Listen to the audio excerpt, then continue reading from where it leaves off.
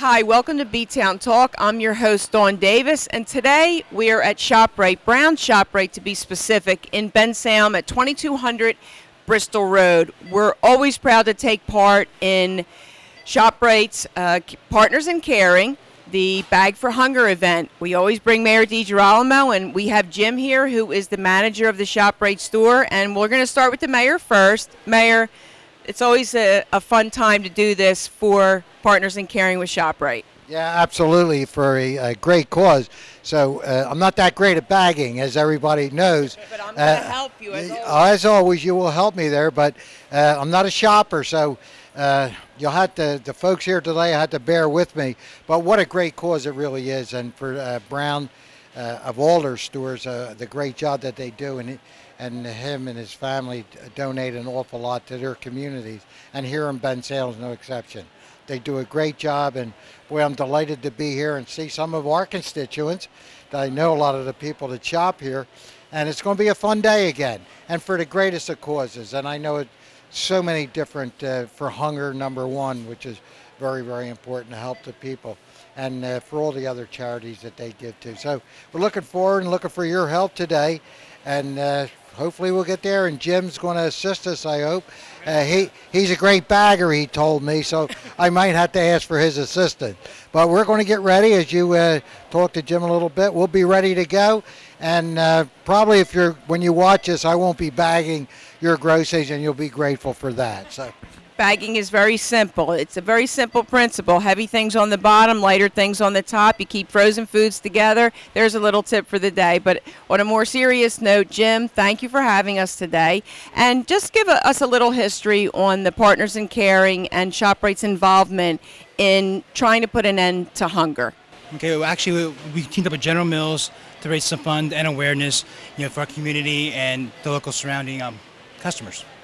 And I know that uh, I believe it started in 1999, and I believe 27 million dollars has been raised for this initiative, with 1,700 charities being, um, you know, the the give for the many funds, and it, it funds many things: food pantries, homeless shelters, battered women women's shelters, and a lot of good causes. Jim, I noticed this uh, which, which looks similar in other um, grocery stores where you give a dollar to help a cause. Can you, let me put it to the camera here, can you explain how it's going to work here in ShopRite? Sure. Actually, what's happening is our customer, actually, our cashiers are asking every customer to donate a dollar, again, just to raise the awareness and create some funds for the community and for this great cause. And it looks like you might have some sort of cool initiative or, or incentive, I should say, uh, a bike, and looks like some foodstuffs are there. So does this get entered into a raffle?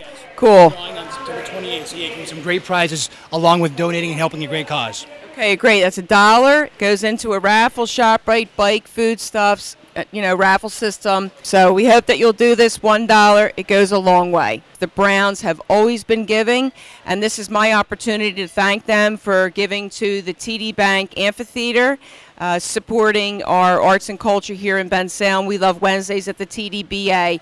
And Jim and Mayor, with that, let's get bagging.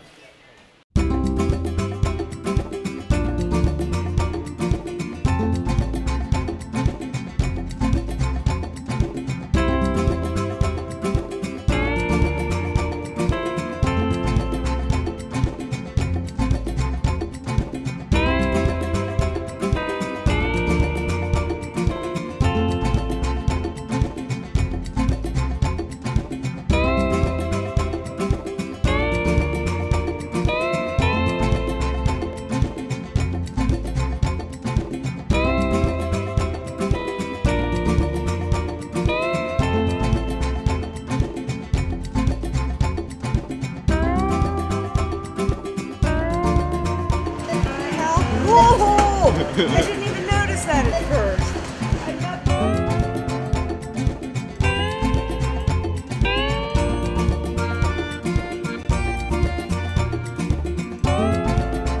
Well, I hope it didn't mess up your groceries today. No, you All right? didn't, no. God bless you. They do a great job here at ShopRite. They really sure do. do. And for a great cause.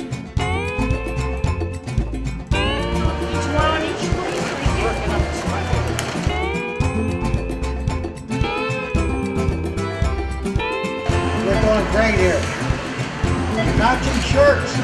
Please, that was a total mistake.